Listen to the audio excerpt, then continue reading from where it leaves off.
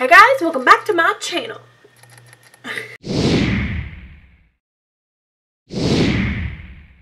so in today's video, we are going to be talking about my May favorites.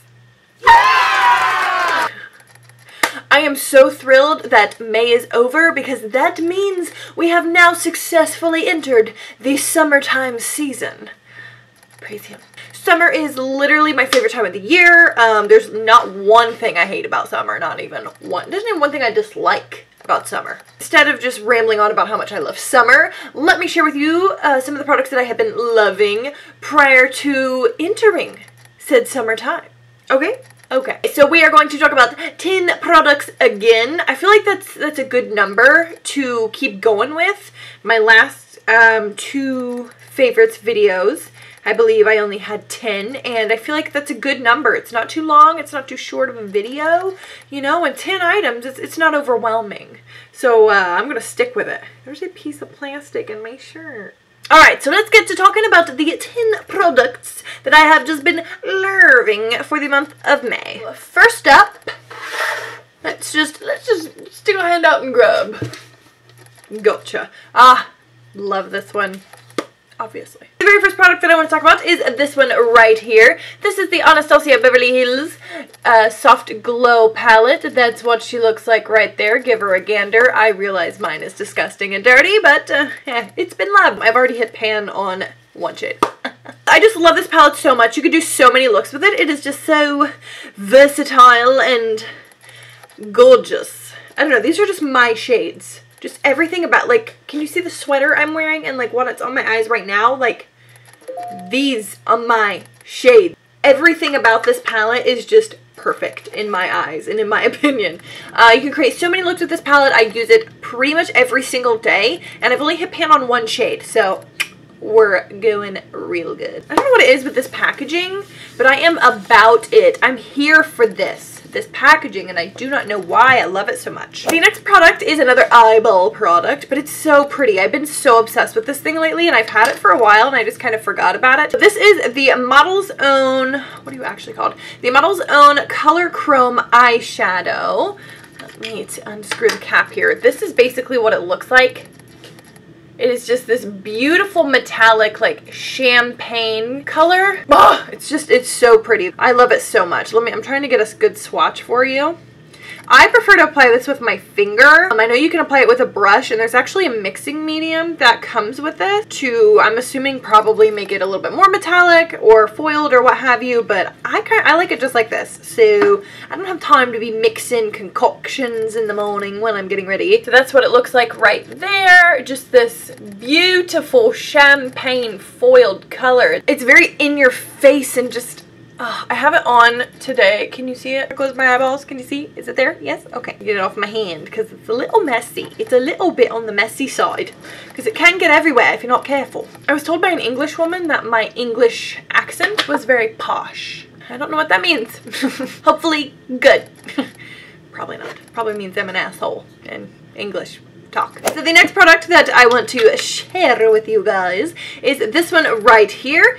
This has been my favorite foundation since ever? No. for a couple weeks now and for the majority of this month. Um, I've had this foundation for a very long time. However, I kind of, I, I, just go through a lot of foundations and, you know, whenever you have a lot to pick from, you kind of just, you know, you forget about a few that you have. And whenever I grab this one again and I'm just like, why did I ever, like literally ever stop using you? This is like the most perfect foundation on the planet. This is the YSL All Hours Foundation. It does have SPF 20 in it, so it's not the most photograph friendly foundation, but mm, I don't care. nope, call me Flashback Mary. I do not care. This is just so beautiful, and I really don't have that much of a problem as far as flashback goes whenever I take pictures, so I don't care. Mine is in the shade B50, which is honey. The tiniest amount of foundation is sitting in the bottom of this. When I use this product, I literally have to unscrew it and like paint it onto my face with the little plastic thing on the inside. Like, I am low, but I love, love finish the makeup and then we'll go on to like the other category. So the very next product that I want to show you guys is this one right here. Let me take the cap off. Nope, I've literally twiddled it down to nothing. So this, uh, what is left of this is the Lottie London AM to PM Black kohl liner. I like to put this down before I actually do liquid liner or like a wing liner or anything like that. And this is super creamy, so it's really easy to like smudge on lash line and make it look like smoky and sultry. I also love putting this in the waterline because it actually, I mean, for me, nothing stays in my waterline whatsoever, including this but it lasts the longest out of everything that I own as far as keeping it in the waterline. So in my opinion, that's a win, girl. And this is drugstore, so it's very, very affordable. I think I only paid like $7.99 for this thing, and when I got it, you know, it was like a normal size like pencil, and I've used almost all of it. The next two items are the same thing essentially. Uh, they are Buxom lip glosses. This is who I'm talking about, these guys right here. They are in the shades Bellini and White Russian. White Russian was the very first one of these that I ever tried. This is actually the full-on lip cream. It's essentially the lip plumping lip gloss by Buxom. Before I ever had my lips done forever ago, I would use this product all the time to try to give my lips that more pouty type look because I had nothing. That's whenever I first discovered these lip glosses and I now own four. but these two have been like my go-tos for this particular month. I don't know with the light being so bright. Um, if you guys can see, the one on top is White Russian and it is like almost completely out. I have a backup sitting in my drawer waiting for me. Swatch them for you. God, they're so beautiful. And I really like these. And as far as plumping goes, it's not one of those where it's like it kind of burns or tingles or anything like that. It's a very like minty, like eucalyptusy type feel. So I've tried other plumping glosses or things of that nature and some of them just are like are really uncomfortable.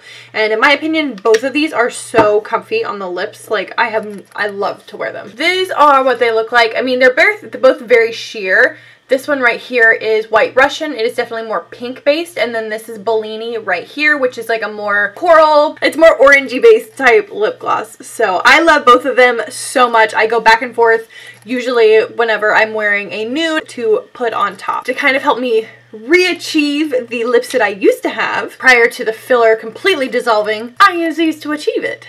Hmm. So the very last makeup type product is one that I know I have mentioned before, but I have just been using it every single day with every single look that I do that it's just like it wouldn't be right not to mention it again. So what I'm talking about is the MAC Prep and Prime Fix Plus Facial Setting Spray. I love this stuff. You can set your face with it. You can make a foily or metallic shadows even more intense.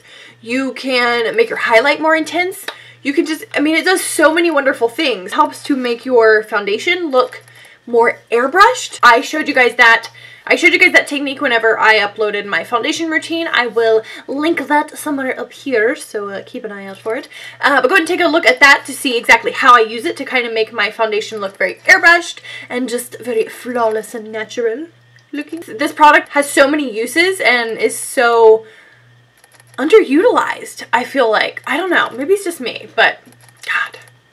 I love you. I've went through like five bottles of these. The last three products are more skincare related. This spring I've been working really hard on my skincare. I feel like since we're going into summer and I'm going to be outside a lot more and hopefully poolside, that I, I want to go a lot more without makeup. That's kind of my plan. But I want my skin to look nice. I want it to feel nice. I want it, you know, I just, I just want to have nice skin. So I've really been taking my skincare seriously and three products that I would just have been obsessed with in the month of May is one right here. This is the Drunk Elephant Protini Polypeptide Cream.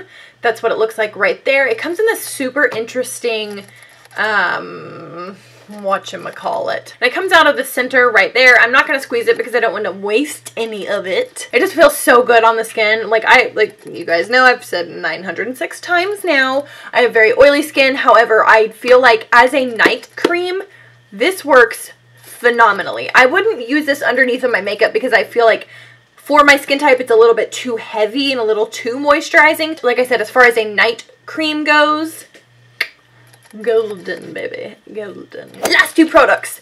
And I use these both kind of in conjunction with one another. So the very first product that I go in with is this one right here. It's the Bioderma uh, micellar water. This is the one for oily skin. I really love it. I will just take it on a cotton round after I have already washed my face and just do mainly the um, more porous areas of my face, like where I have really big pores, so mainly in my T-zone. I will take it around the outer perimeter just to make sure that I got all the makeup off, especially like in my hairline and whatnot. Whenever I go in with this, it just guarantees every inkling of anything ever in my skin is now removed and it is gone and it's just so good. Alright, so the very last product that I want to show you guys is this one right here.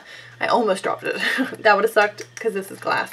Uh, this is the Caudalie or Caudalie or Caudalat, whatever. Vino Perfect Essence. So this is essentially an essence that you apply as kind of like a toner type deal. What essence says what essences do is to basically just help anything that you apply to your skin, whether it be serums, moisturizers, what have you, really helps it to sink into the skin. Really helps it sink into the skin and just absorb a lot more intensely and a lot more deeply and just kind of gives you a better overall effect of your skin care. I have really been enjoying using this lately, especially after the Bioderma, to, after my skin is nice and clean, going in with this product and then applying whatever night or day skincare that I want to do. It just, it makes my face feel so supple and just so hydrated and, and clean and just good. It just makes your skin feel so freaking good. So this is another very pricey product, but I do not use a lot of it. Just a few like little drops on a cotton pad. Um, just mainly use it in like the big areas. you aren't supposed to use it close to your eyes, so I do avoid that. However, like I said, I just don't use a lot of it, so this bottle is going to last me quite a long time. I've already had it for a very long time, I just wasn't utilizing it as much as I do now. So, I don't know what I was sleeping on. I was the fool. That's it guys, that's all of my favorites for the month of May. Uh, I hope that you guys enjoyed this video. If you did, please give it a big ol' thumbs up. Don't forget to subscribe to my channel. Click that notification bell right next to that so you get notified every single time that I upload. Otherwise, YouTube will not tell you. And you will be missing out. Believe me, I know videos that I've already filmed and uh, you want to stick around. Thanks so much for tuning into this one, guys. I really appreciate it, and I will see you in the next one. Bye.